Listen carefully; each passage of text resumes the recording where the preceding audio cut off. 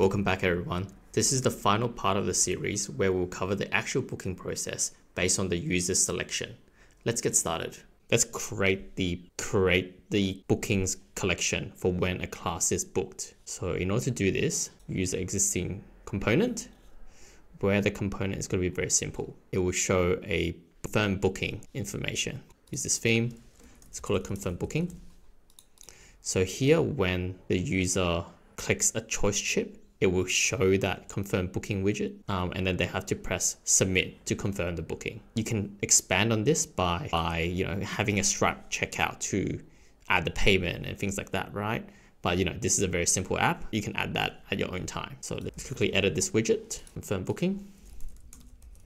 What I would love to show here is date of the choice chip that the user has selected, just to double check, just to, you know, reconfirm they have selected the right time. Um, so in order to do this, we need to create a parameter. So let's create a parameter of um, time selected. It's going to be required. It's going to be a date time. And then we also need information about class. So the other um, parameters we need are the class ref and then also the owner ref, so owner of the class.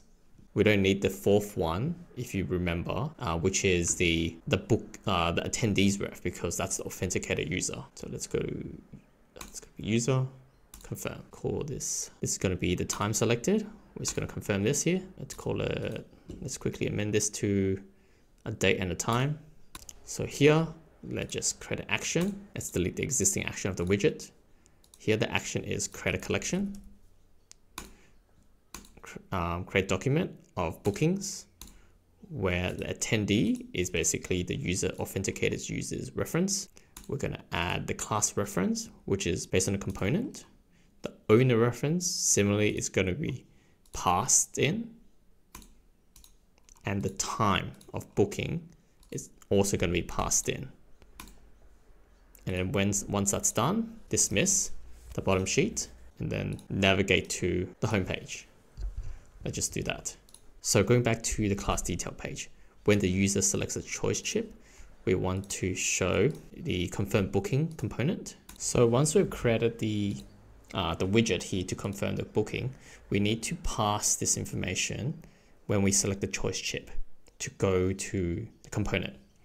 The problem with this is that the widget of the choice chip actually uses strings only. So you can see it's a list of string, but the input required for confirm booking component is time. So what we need to do is convert this list of uh, convert the string into a time element. So to do this, we need to create a custom function as well. So let's just call this string to time. And what we need to do here is the output has to be of date time. So argument one's input it's going to be of our argument. And the argument number two will be date arg, which is the date selected based on the calendars widget. So it's going to be date time widget. And then similarly, it's going to be our widget of date string.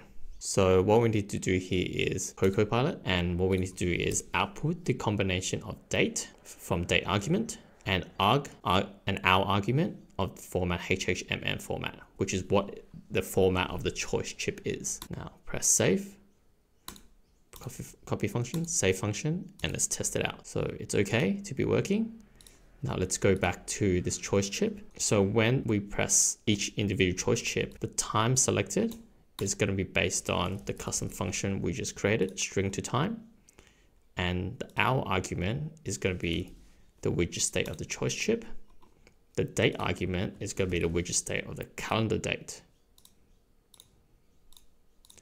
And then no further changes. What we also need to pass in is the class reference. So what class are we booking? In addition the host reference. So here the host reference is going to be the class's document owner reference. When we show the bottom sheet, it will show the time here of the booking. So we'll just create the, so when that's done, we're going to create the document and dismiss the bottom sheet and navigate back to the home page. So let's test this out to see if it works. So let's book a class for next Monday. So Monday, let's book a class for 3 p.m. 11th of September, 3 p.m. Confirm booking. And here we can, let's go back to our Firebase to see whether booking has been created. So let's go to bookings. And here we can see all the information of the booking is created. And now to double check whether this class is no longer available for booking tomorrow, let's double check this. Here, you can see here 3 p.m. is no longer available. Perfect. So I hope this session was useful for you where you're able to set custom availability between Monday to Sunday and a attendee can book individual classes and these individual classes are subsequently filtered out from available time slots. Remember to comment, like or subscribe for more classes and sessions on FlutterFlow.